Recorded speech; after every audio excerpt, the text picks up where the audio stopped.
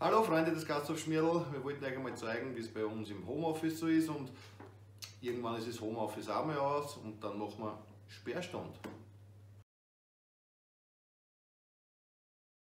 So, Sperrstand Karl, bitte trink aus. Kannst eh nicht mehr komm her, trink dir das aus. So, Karl, bitte, geh heim. Karl, bitte, bis morgen im Homeoffice, gell? Brav bleiben.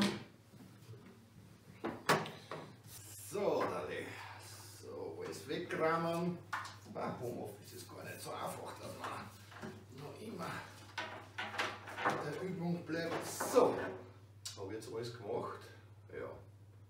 Ich habe die Registrierkasse andraht, ich habe ein speißeres Licht andraht, ich habe vorne zugesperrt. Irgendwas habe ich vergessen. Wird nicht so wichtig sein, ne? Mein Gott, jetzt ich jetzt weiß ich, was ich vergessen habe.